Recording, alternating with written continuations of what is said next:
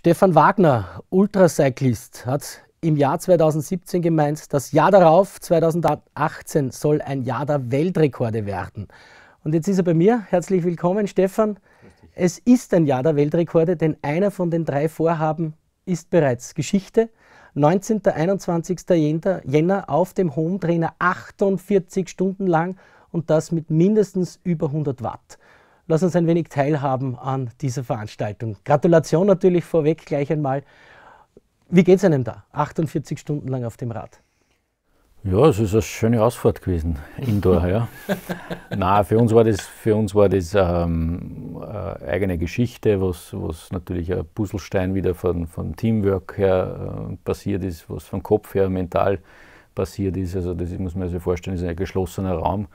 Es ist ja nicht immer, dass wer mitfährt, ja, sondern man ist auf sich alleine gestellt. Also der Druck muss immer passen. Also es ist immer der Durchschnittswatt, was da gerechnet wird, nicht die Kilometerleistung oder die, die kmh, Durchschnitts-kmh, sondern äh, der Durchschnittswatt. Und ja, und den haben wir jetzt ein bisschen hochgesetzt auf 144 inoffiziell und äh, ich hoffe, dass er länger bleibt. Äh, wenn er geschlagen wird, dann wir es nicht mehr machen. Mhm. Du warst in den ersten Stunden wirklich extrem stark unterwegs, vor allem die ersten zehn Stunden, glaube ich, mit einer sehr, sehr hohen Wattleistung.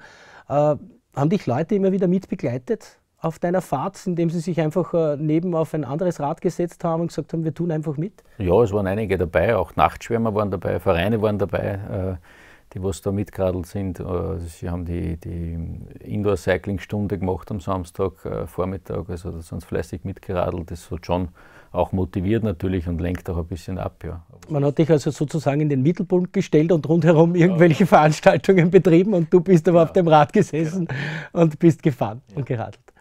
Wo liegt die Motivation, so etwas zu machen?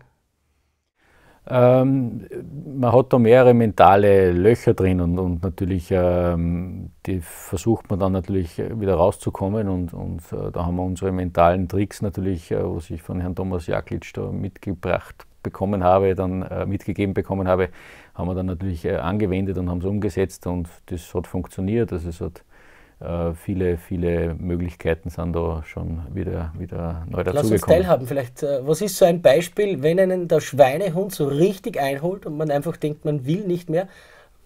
Ja, man muss was einfach das, das, Ziel nur mehr fokussieren, was man erreichen will. Ja. Äh, das, ähm, dann, dann schafft man das, ja.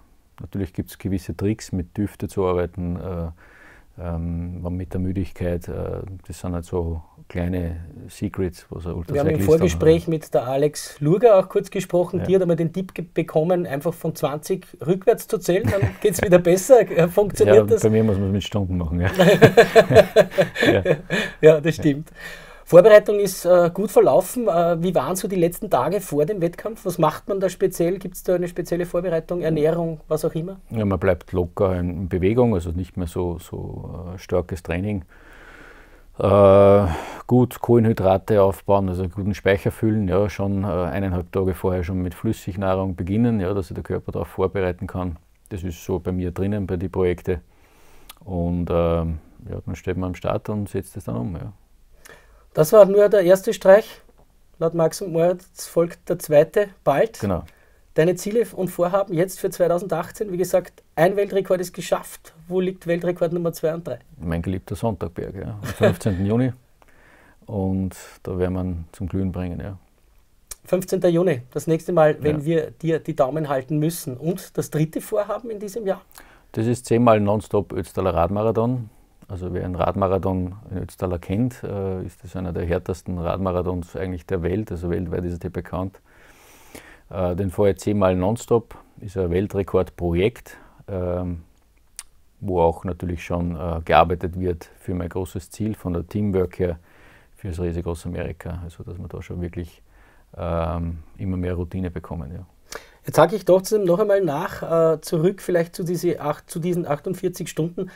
Gibt es einen Punkt, wo man wirklich nicht mehr weiter will? Wann war das bei dir in etwa? Also die erste Nacht war sehr durchwachsen. Ja, also wie gesagt, ich habe sehr stark angefangen, also mit, mit 218 äh, Watt in die ersten 10 Stunden. Ähm, habe dann, hab dann natürlich ähm, Ernährungsfehler macht man ein bisschen oder man vertragt halt was nicht, ja, dann kriegst du halt Blähungen und dann ist halt so, dass der, der Magen arbeitet und der nimmt halt die Kraft vom Pedal. Ja. Und das, das äh, war in, dem, in der Zeit so, also die erste Nacht war sehr durchwachsen. Und wie knapp ist man da vor dem Punkt, dass man wirklich sagt? Nein, das hat man nie, aber, aber hat man nie. das hat man nie, weil man immer das Ziel in, in, vor Augen hat und, und äh, man hat halt Tiefs und auf die muss man rauskommen und, und da haben wir halt gewisse Techniken selber, die was ähm, mehrere Techniken, die was man anwendet, was dann gut gingen oder man sagt, okay, jetzt probieren wir es nochmal fünf, zehn Minuten oder man nimmt einmal raus oder man geht einmal vom Rad und, und mal fünf Minuten einmal runterkommen und dann wieder rauf. Ja. Also das gibt es auch. Ja. Also im Grunde genommen eine Lebensweisheit, einfach immer wieder aufstehen Genau. und immer wieder probieren. Ja.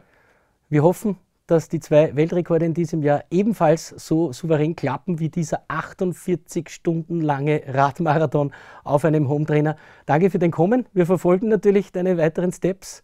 Und an Sie sage ich danke fürs Zusehen, denn das war's wieder mal vom Sport auf M4 TV. Mein Name ist Günter Berger und Sie sind im Bild.